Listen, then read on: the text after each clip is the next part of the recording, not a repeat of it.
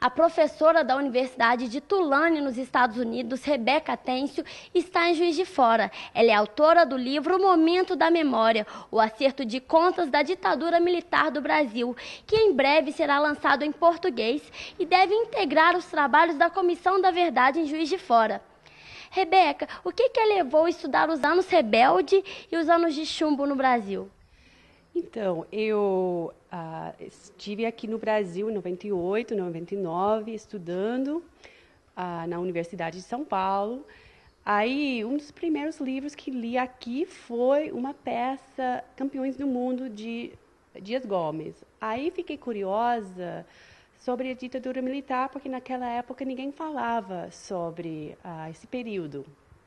Aí eu passei para a pós-graduação e eu escrevi uma tese de doutoramento sobre a literatura de testemunha, que foi uh, livros que foram publicados na época da anistia, em 79 e até 83.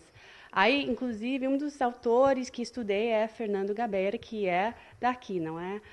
Aí, pronto, aí passei a, a expandir o foco para outras obras culturais sobre o período publicadas entre 77 e 75, mais ou menos, até 2010, com a inauguração da Comissão Nacional da Verdade. E qual que é a importância na criação das comissões de verdade para desvendar o, o período da ditadura no Brasil? Então, eu acho que isso é muito importante porque é, é preciso ter um processo oficial de reconhecimento daquilo que aconteceu. O ideal seria que isso acontecesse logo depois da transição. No, na, no caso do Brasil, isso demorou, sabe, algumas décadas, mas mesmo assim, isso é importante, sobretudo para que a nova geração, os jovens, conheçam essa parte da história brasileira. Muito obrigada.